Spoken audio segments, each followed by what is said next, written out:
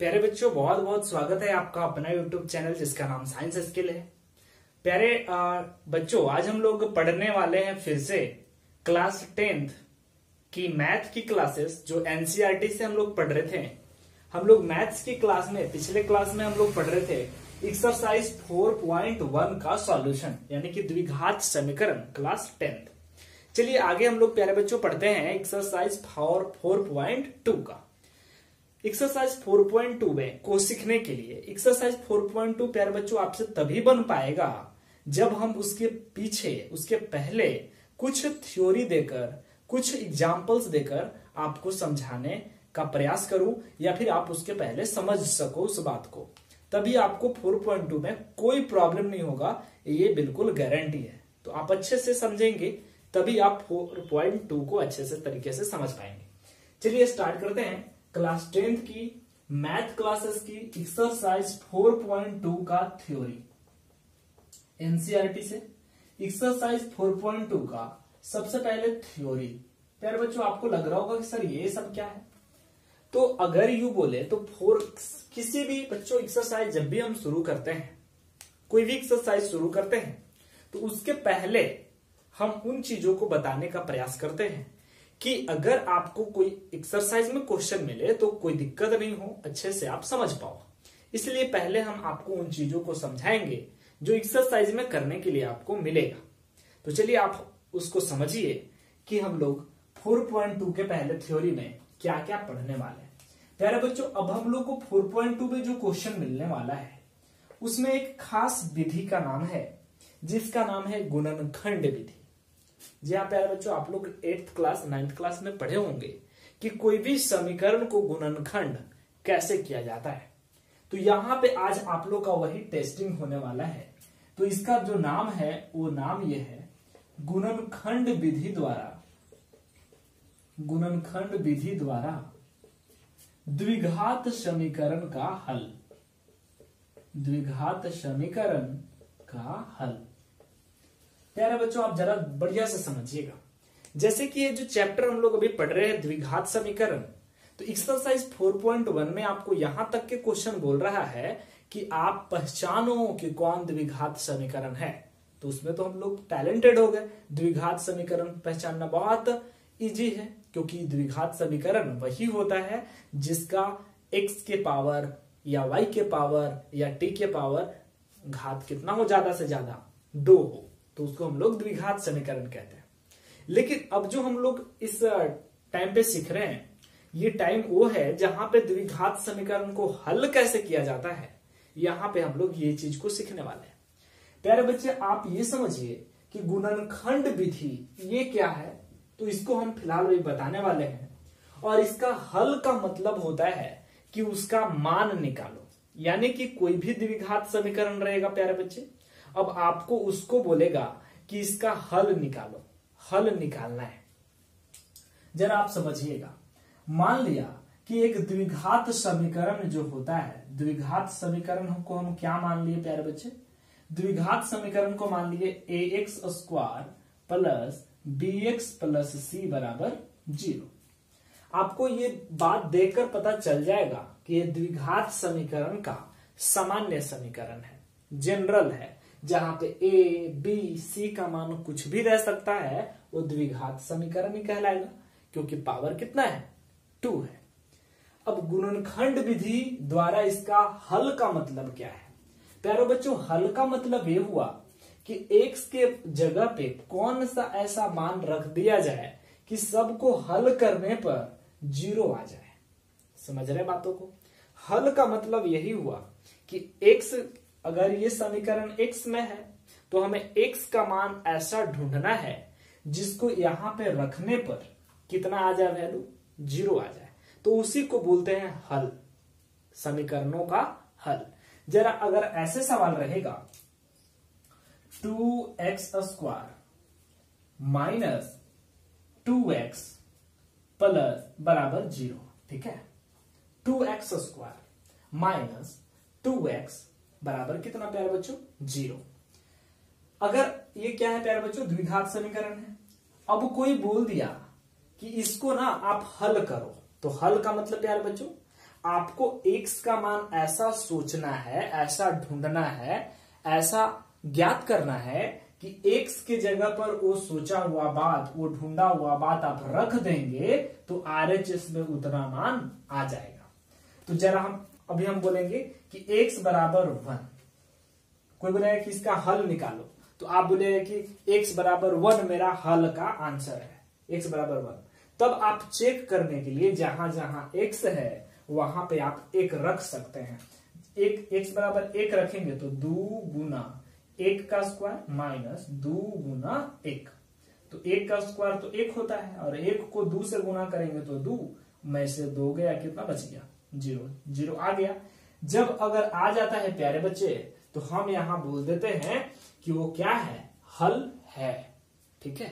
यानी कि एक्स का ऐसा मान ढूंढना है जो बराबर के बाद जो है, वही आना चाहिए। अच्छा अब जरा बात करते हैं कि हल का तो मतलब समझ गए कि एक्स का मान ज्ञात करना है। अब जरा एक्स का मान ज्ञात करना है तो इसी को हम लोग मूल भी बोलते हैं, ठीक है? यानी कि हल ज्ञात करना या फिर मूल ज्ञात करना दोनों का मतलब प्यारे बच्चों वही है। हल कोई बोलेगा कि द्विघात समीकरण का मूल ज्ञात करो मूल।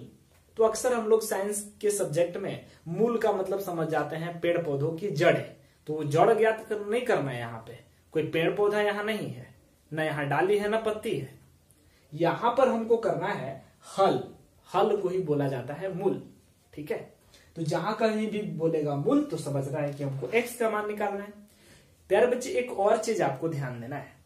अगर कोई द्विघात समीकरण है तो उसका एक्स का जो हल निकल के आएगा, प्यारे बच्चों, उसका दो आंसर आएगा। देखिए, अब ये बहुत बड़ा, बोल सकते हैं कि नेचुरल है। अब नेचुरल क्या है? बहुत आपको मज़ा आने वाला चीज़ है कि अगर द्विघात समीकरण रहेगा, प्यारे बच्चों तो उसका एक्स का आंसर दो ठो आता है। अगर मेरा ये त्रिघात रहता, त्रिघात का एग्ज़ाम्पल क्या है? A x q plus b बराबर ज़ीरो ज़्यादा से ज़्यादा पावर तीन दिखेगा तब ना त्रिघात बोलेंगे उसको। तो अगर त्रिघात समीकरण रहेगा तो उसका हल निकल के कै गो आएगा, तीन गो आएगा। ठीक है? तो यहाँ पे हमको सिर्फ़ चैप्टर चैप्टर ही बना है द्विघात समीकरण तो त्रिघात का बात हम लोग नहीं करेंगे। तो हम लोग एक और चीज़ पे आने वाले हैं, जो कि सबसे इंपोर्टेंट है, वो द्विघात समीकरण के मूल, या फिर हल। तो प्यारे बच्चों, द्विघात समीकरण के हल कितने हो सकते हैं? हर केस में दो गो इसका मान निकलता है। यानी कि कोई भी द्विघात समीकरण रहे एक्स का मान कै गो निकलेगा? दो गो निकलेगा। अगर त्रिघात रहे तो एक्स के मान कै गो? तीन गो। अगर चतुर्थ घात रहे तो एक्स का मान चार गो निकलेगा। यानी कि जितना ज़्यादा से ज़्यादा पावर रहता है, या फिर जितना ज़्यादा से ज़्यादा घात रहता है, प्यारे बच्चों, उसका आंसर उतना गो आता है। ठीक है? तो यहाँ पे हम लोग द्विघात समीकरण पढ़ रहे हैं। इसका मतलब है कि हर द्विघात समीकरण का जो मूल होता है, जो हल होता है, जो आंसर आता है, वो कितना गो आएगा? दो गो आएगा। हर एक क्वेश्चन का। क्वेश्चन ए गो रहेगा, ओकर आंसर दो गो आएगा। क्यों? क्योंकि द्विघात समीकरण का कै गो मूल दो गो मूल चलिए, यहाँ तक भी हम लोग काम कर लिए। अब कोई भी द्विघात समीकरण का जो मूल होता है, हम लोगों को दू गो मूल होता है। क्यों? क्योंकि पावर दू गो है। एक को प्यारे बच्चों बोला जाता है अल्फ़ा। इसको हम लोग अल्फ़ा बोलते हैं। एक को हम लोग अल्फ़ा बोलते हैं और एक मूल को बीटा बोलते हैं। बेटा नहीं, बीटा। नहीं, नया नया है, तूने सुन रहा है। गलती से तूने के कान में कैंसर होगा तो तूने कह देगा कि बेटा सिखाए तो फिर बड़का दिक्कत। बीटा, बेटा नहीं। तो एक अल्फ़ा है और दूसरा का नाम बीटा है। बीटा को दिखाते हैं अच्छा से। पहले एक लंबा लाइन खींच लेना है और थोड़ा सा छोड़ के ये हो गया बीटा। और अल्फ़ा कैसे करते हैं? तो ए ऐसे लिखता है ना ए बी सी डी में। इसको आओ तनी से खींच देना है, इसको आओ बढ़ा देना है। ठीक? ये हो गया तुमको अल्फ़ा। जिसको नहीं लिखने आएगा। ए लिखना और ऊपरे और नीचे। खींच देना, ये हो गया अल्फ़ा तुमको। तो याद रहे कि द्विघात समीकरण के कितने मूल होते हैं? दो मूल होते हैं। दो गो हल होता है। एक को अल्फ़ा से सूचित करते हैं और एक को बीटा से सूचित करते हैं। प्यारे बच्चों, ठीक है? चलिए। अब जरा यहाँ तक तो समझ गए कि द्विघात समीकरण का हल और मूल के मतलब कौन सी है। अब जरा इससे पहले समझते हैं कि ये गुणन खंड विधि क्या है। गुणन खंड विधि का मतलब प्यारे बच्चों, कि आपको कोई भी द्विघात समीकरण रहेगा, आपको उसको करना है गुणन खंड। अब गुणन खंड कैसे करना है? जरा इसको समझने के लिए हम लोग कुछ एग्ज़ाम्पल पे आते हैं। चलिए कुछ एग्ज़ाम्पल लेते हैं, तब हम लोग को समझ में आएगा। अगर आप इन चीज़ों को लिखना चाहते हैं तो लिख सकते हैं। अगर नहीं लिखना चाहते, समझ गए तो अच्छी बात है। चलिए तो एग्ज़ाम्पल के तौर पे अभी हम एक क्वेश्चन लेने वाले हैं।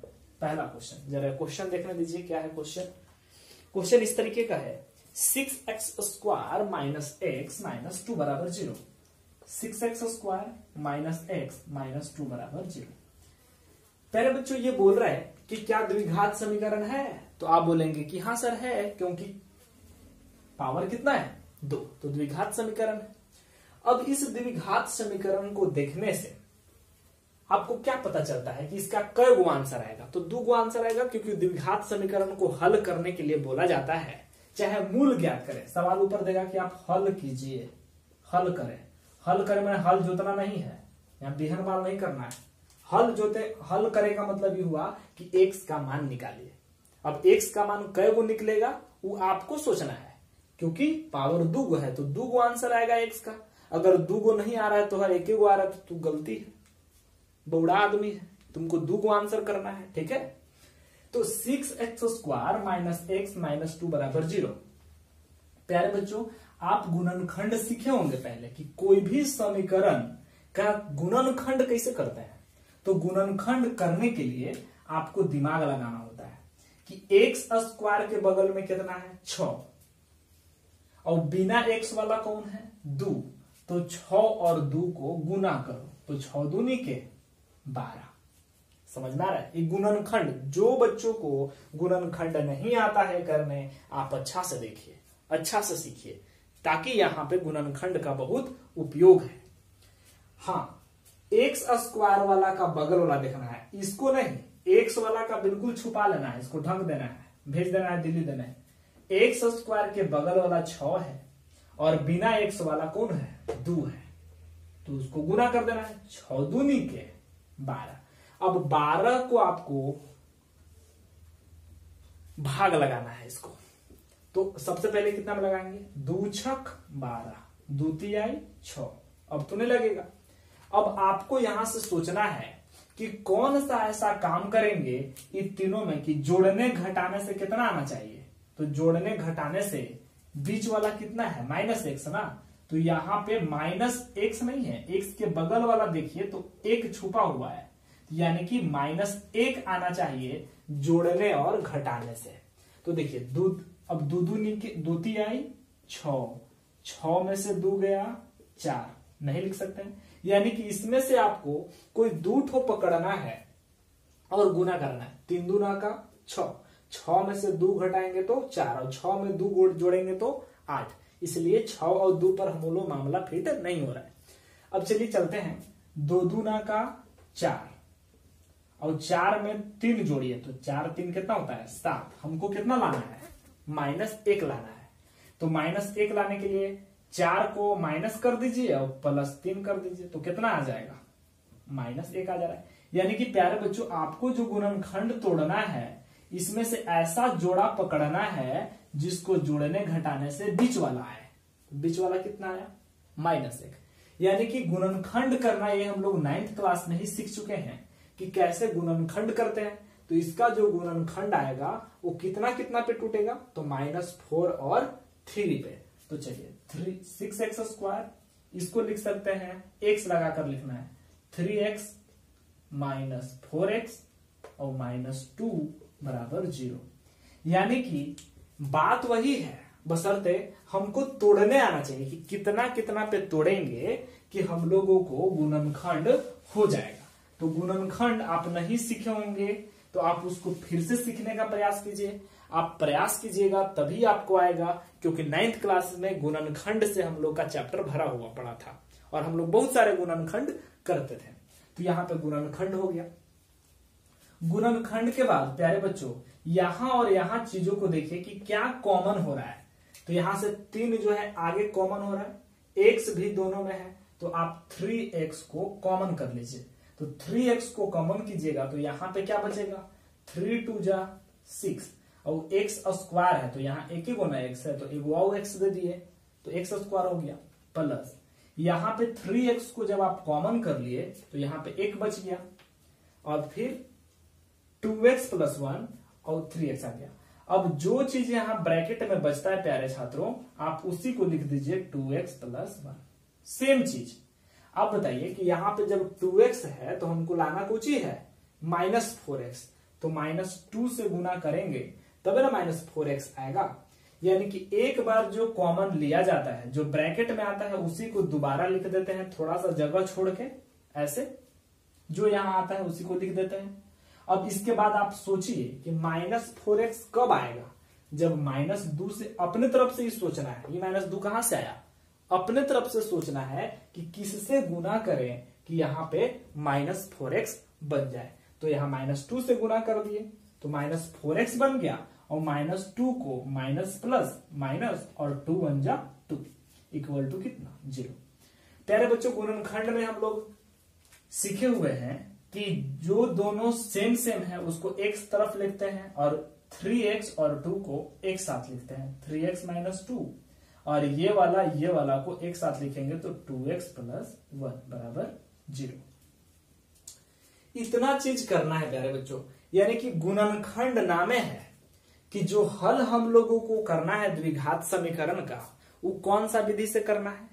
उस विधि का नाम है गुणनखंड विधि। आपको गुणनखंड आना चाहिए। अगर नहीं आ रहा है तो आप सीखने का प्रयास कीजिए। ठीक है?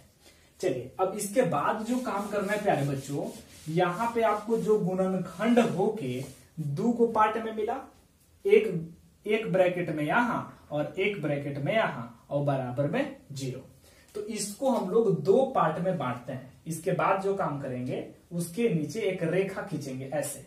ये जो हम काम कर रहे हैं, वो आपको इसके नीचे करना है। एक बार इधर लिखना है थ्री एक्स माइनस टू बराबर ज़ीरो, यानी ए को इतना के बराबर ज़ीरो लिखना है, और राइट साइड में टू एक्स प्लस वन बराबर ज़ीरो लिखना है। यानी कि ये यहाँ के बाद से आपको नीचे काम करना है क्योंकि मेरे पास जगह नहीं है, इसलिए हम यही वाला बात को ऊपर से बता रहे हैं फिर से। तो थ्री एक्स माइनस टू और टू एक्स प्लस वन बराबर कितना आया? ज़ीरो। अब जो पहले वाला जो गुणनखंड है, उसके बराबर भी ज़ीरो लिखेंगे और जो दूसरा वाला जो गुणनखंड है, उसके बराबर भी ज़ीरो रख दिए। अब ज़ीरो रखने के बाद आपको एक्स का मान निकालना है। तो यहाँ से आपको पता है एक्स का मान निकालने के लिए क्या करेंगे? ये माइनस में है, उधर जाएगा तो प्लस में टू होगा। इसलिए एक्स का मान क्या होगा यहाँ? तीन गुना में है ना तो यहाँ पे चला जाएगा भागा में। तो एक्स का वैल्यू कितना आ गया? दो बटे में तीन। चलिए, अब इसको से भी मान निकालिए। टू एक्स, ये प्लस में है। उधर जाएगा तो माइनस में इसलिए एक्स का मान कितना हो गया? माइनस एक बटे दो। तो प्यारे छात्रों, अभी हम लोग यही चीज़ तो बता रहे थे कि द्विघात समीकरण एक ऐसा समीकरण है जिसका दो गो मूल आता है दो गो हल आता है दो गो मान निकलता है। देखिए सवाल था द्विघात समीकरण का। अब x का मान एगो टू बाई थ्री आया और एगो माइनस वन बाई थ्री हो गया। तो हम यहाँ लिखेंगे कि अतः जो सवाल था, सवाल क्या था? Six x square minus x minus two का हल कितना कितना है? तो ए गो आया दो बटा तीन तथा ए गो आया माइनस एक बटा दो है। हल कितना कितना है? दो बटा तीन और माइनस एक बटा दो। अब प्यारे बच्चों, बराबर ज़ीरो ये छूट गया था। अगर आप एक्स के जगह पे एक बार दो बटा तीन रखिएगा जहाँ जहाँ एक्स है, यानी कि अगर आपको चेक करना होगा कि हमर निकालल सही है कि नहीं, एक बार और हम हालाँकि यहाँ पे चेक नहीं करना है। आप घर पे रफ कॉपी में ये काम कर सकते हैं कि ये मेरा जो आया हुआ हल है, ये सही है कि गलत है। आप इसको चेक करने के लिए एक बार एक्स के मान जो है दो बटा तीन रखिएगा। एलएचएस में सॉल्व कीजिएगा दो बटा तीन, जहाँ जहाँ एक्स होगा, वो ऑटोमेटिक ज़ीरो आ जाएगा। और माइनस एक बटा दो भी रख के चेक कीजिएगा, वहाँ पे भी आपको ज़ीरो आ जाएगा।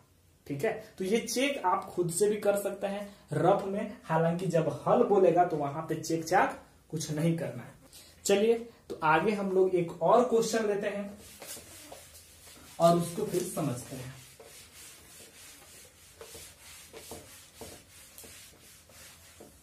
अगले क्वेश्चन की तरफ़ बढ़ते हैं। अगला क्वेश्चन कुछ इस तरीके से है।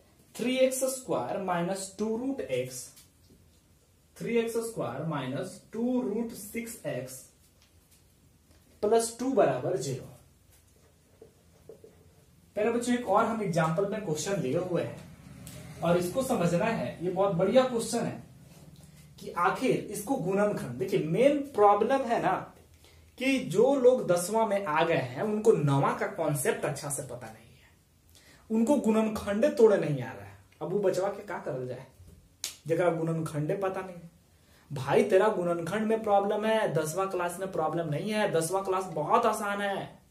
तो तुम गुणनखंड पहले सीख लो अच्छे से, तब तुमको ये चैप्टर बहुत बढ़िया से समझ में आएगा। चलो फिर भी, गुणनखंड नहीं आता है। आप सीखोगे, सीखने का प्रयास करोगे तो ज़रूर सीखोगे। अगर नहीं सीखने का प्रयास करोगे कभी ज़िंदगी में नहीं सीखोगे। फिर से चलो, सिखाते हैं। गुणनखंड करने के लिए हम क्या बोले, प्यार बच्चों? एक सौ स्क्वायर के बगल में तीन है और यहाँ क्या है? दो है। तो तीन और दो के तुम कुछ करेगा? गुना करेगा। तो थ्री टू जा कितना होता है? सिक्स होता है। थ्री टू जा सिक्स अब इस सिक्स को आपको करना है कि इस तरीके से गुना भागा करना है कि आपको जो है आ जाना चाहिए कितना? जोड़ने घटाने पे टू रूट सिक्स आना चाहिए। ठीक है? चलिए तो अब इसको जरा अच्छे से समझते हैं।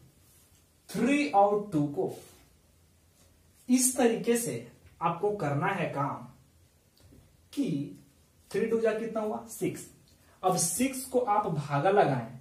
टू थ्री जा सिक्स ठीक है? बहुत अच्छा क्वेश्चन है और बहुत अच्छे अच्छे बच्चे भी इसमें फंस जाते हैं। जरा समझिएगा, आप रूट वाले प्रॉब्लम में। अब आपका ही प्रॉब्लम है कि सर एक दिक्कत तो लग रहा है। हम बोले कि क्या बचवा का तुमको दिक्कत है? तो सर टू और थ्री लगेगा। अगर मान लिया कि दो और तीन को सर जोड़ेंगे तो पाँच, और दो में से तीन को घटाएँगे तो माइनस एक। ना तो तीन में से दो के घटावे तो एक।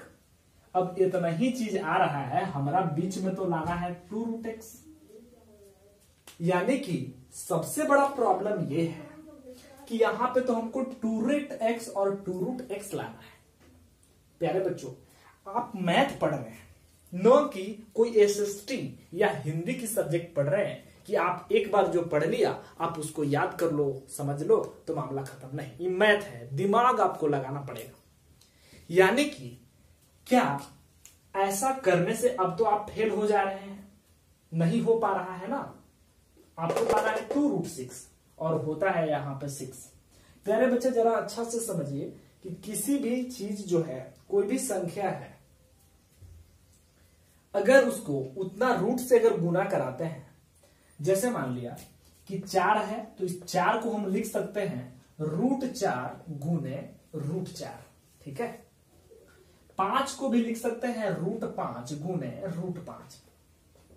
उसी तरीके से कभी आप अगर ऐसा न टूट पाए, प्यारे बच्चों तो आप यहाँ पे ये दिमाग लगाइए कि छ को जब तोड़ना होगा छ को जब तोड़ना होगा तो हम ऐसा भी तोड़ सकते हैं रूट छ को रूट छ बार में। समझ रहे हैं बात को? अब आपको समझ में आ गया, ऐसा क्यों तोड़ रहे हैं? क्योंकि हमको ऐसा ही तोड़ने से बीच में आ रहा है टू रूट सिक्स। प्यारे बच्चों, ऐसे लिख सकते हैं? Three x square. यहाँ दोनों माइनस में लाना है तो माइनस रूट सिक्स एक्स और माइनस एक्स लगा देना है। माइनस रूट सिक्स एक्स, क्योंकि माइनस माइनस एक्स और माइनस एक्स मिलके माइनस टू एक्स हो जाता है। तो यहाँ रूट सिक्स और रूट सिक्स कै वो दो को इसी के वजह से आपको ये कसम नहीं खाना है कि हमेशा वैसा ही कुछ करना है। यानी आपको अपना दिमाग लगाना है कि कितना में तोड़ा जाए बीच वाला को। कितना में तोड़ा जाए बीच वाला को ताकि हमें क्या आ जाए? तो हमें मिल जाए वो जोड़ने घटाने से उतना मिल जाए। तो ये इसको तोड़ दिया, minus root six x minus root six x और यहाँ हो गया प्लस टू बराबर ज़ीरो। अब प्यारे बच्चों, आप यहाँ पे देखिए तो यहाँ पे आपको दिख रहा है कि यहाँ से हम क्या कॉमन लिख सकते हैं? तो यहाँ है थ्री को जैसे अभी बताएँ थ्री को हम क्या लिख सकते हैं? रूट थ्री गुना रूट थ्री गुना एक्स स्क्वायर ठीक है? इसको फिर माइनस छ को भी तो तोड़ सकते हैं, तीन दुना का छ तो इसको भी दो पार्ट में लिखे। रूट तीन गुने रूट टू रूट तीन और रूट दो मिलकर रूट छ बन गया, और एक्स माइनस इसको भी वैसा ही लिखे। रूट थ्री गुना रूट दो गुना एक्स प्लस दो दो को भी वैसा ही लिखिए। दो को कैसा? रूट दो गुना रूट दो, बराबर कितना? प्यारे बच्चों, ज़ीरो। देखिए, ये ऐसा मैथ्स है ना, ताकि आपको अलग अलग सिचुएशन में अलग अलग कुछ सीखने का मौका देता है। आप बोलिए कि सर वहाँ पे टू था फोर था तो वहाँ पे तोड़े नहीं थे।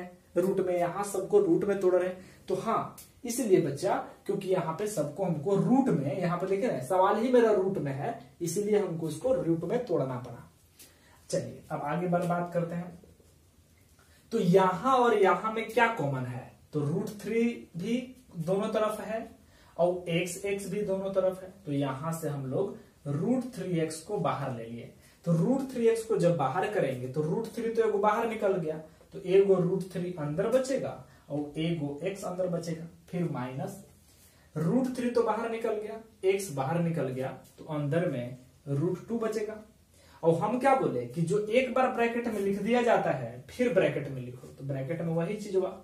Root three x minus root two प्यारे बच्चों, आप ये आपको समझना है कि यहाँ पे तो लाना है हमें रूट थ्री गुना रूट टू गुना एक्स, ये चीज़ लाना है। और आपको क्या है अभी? रूट थ्री एक्स तो रूट थ्री और एक्स तो है ये है। क्या घट रहा है? तो माइनस रूट टू घट रहा है। माइनस ई वाला और रूट टू घट रहा था। अब आप चेक कर लीजिए कि क्या मेरा सही है कि नहीं। तो minus plus minus root three, root two x, root three, root two x, minus minus plus. Root two root two root two root two, है? चलिए, यहाँ तक ठीक है? बराबर ज़ीरो।